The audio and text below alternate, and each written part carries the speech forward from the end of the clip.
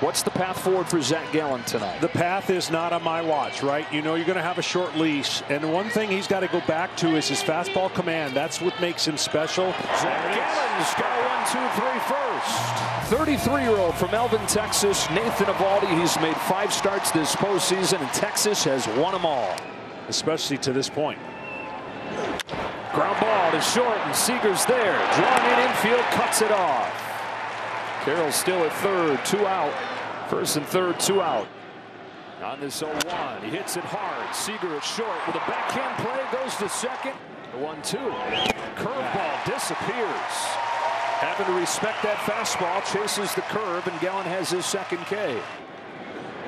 And Longoria yanks the line drive to left field. Then Carter comes on to get. Evan Carter takes a hit away from Longoria. Two gone in the second. Grounds the first one that he sees up the middle. There is Perdomo.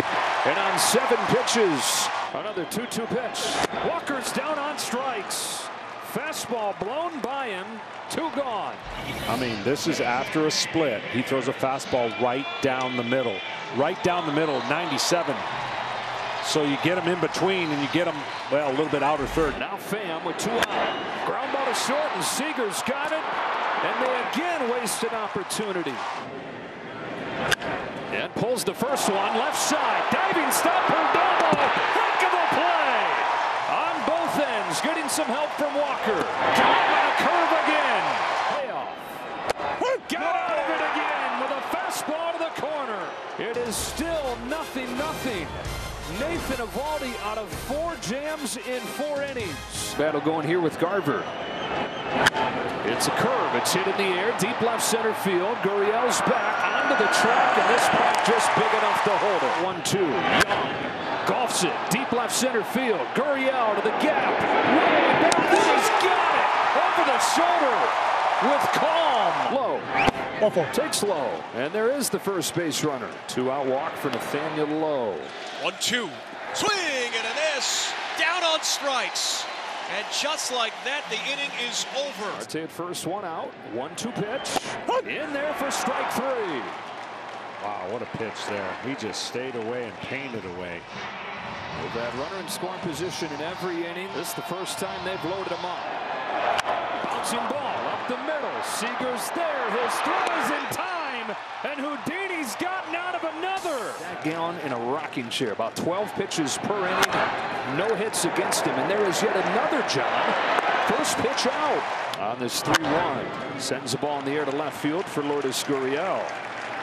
Two up and two down in the sixth. And the pitch. Swing and a miss. He struck him out. Six shutout in the books. And Gallen yet to allow a hit in game five. Eovaldi deals. And gets a chase on another splitter. Two up and two down in the sixth. Uh, that ball disappears. That's the best one he's thrown all night.